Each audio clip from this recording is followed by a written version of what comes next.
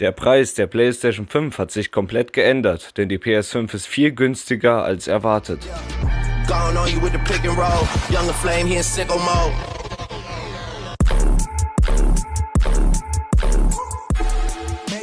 Und damit ein herzliches Willkommen zu einem neuen Video auf Snipes Gaming. Wenn ihr keine weiteren Videos mehr verpassen wollt, dann lasst doch gerne mal ein kostenloses Abo da und aktiviert die Glocke, damit ihr benachrichtigt werdet, wenn ein neues Video online ist. Denn gerade so ein heißes Thema wie jetzt sollte man nicht verpassen, denn der Preis der PlayStation 5 ist jetzt offiziell. Vor einigen Tagen ist man noch fest davon ausgegangen, dass die PlayStation 5 einen Preis zwischen 700 und 800 Euro haben wird, aber nein, so teuer ist sie tatsächlich nicht, denn jetzt können wir wieder fröhlich aufspringen und uns erfreuen, denn sie ist günstiger als erwartet. Bevor ich jetzt den Preis nenne, vergisst bitte nicht, die anderen Videos auf diesem Kanal abzuchecken, uns würde es auf jeden Fall freuen und lasst bitte ein Like da, wenn euch das Video gefallen sollte und teilt es mit euren Freunden. So, damit sich dieses Video jetzt aber nicht unendlich in die Länge zieht, wie bei manch anderen YouTubern, hau ich jetzt einfach mal raus.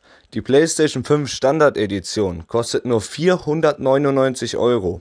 Ist zwar schon teuer, aber deutlich günstiger als erwartet. Deutlich. Und das ist die Version mit dem Laufwerk. Die PS5 Digital Edition kostet nur 399 Euro. Heißt 100 Euro billiger, wie ich es schon bei den hohen Preisen vermutet habe, dass sie 100 Euro weniger kostet. Und jetzt kommt der springende Punkt. Obwohl der PS5 Controller deutlich höher verarbeitet ist, von den Kosten her, als der PS4 Controller, hat er einen deutlich günstigeren Preis denn der PS5-Controller kostet nur 49,90 Euro. Und da lohnt es sich dann auch, einen PS5-Controller nachzukaufen, weil er nicht allzu überteuert ist, muss man dann auch nicht ewig in sein Portemonnaie gucken und auf das letzte Scheinchen warten. Kommen wir jetzt noch kurz und knackig zu einer anderen meistgestelltesten Frage zur PlayStation 5. Wann kommt sie denn auf den Markt? Denn das ist, um genau zu sein, noch relativ unklar. Es gibt Vermutungen, dass sie eine Woche vor Black Friday rauskommt und das sind die meisten Vermutungen.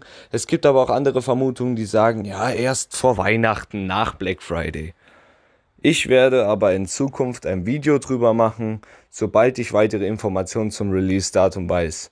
Denn wie gesagt, abonnieren, Glocke aktivieren und ihr werdet dann mitbekommen, sobald es neue Informationen zum Release-Datum gibt. An dieser Stelle bedanke ich mich fürs Zuschauen und wir sehen uns dann im nächsten Video.